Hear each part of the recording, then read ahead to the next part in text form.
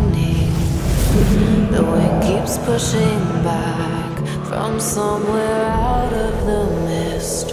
A whisper spurs a memory and a spark that ignites a raging blaze, overpowering your foolish, angry ways. It's the fire of creation, it's the spirit of hope, and so you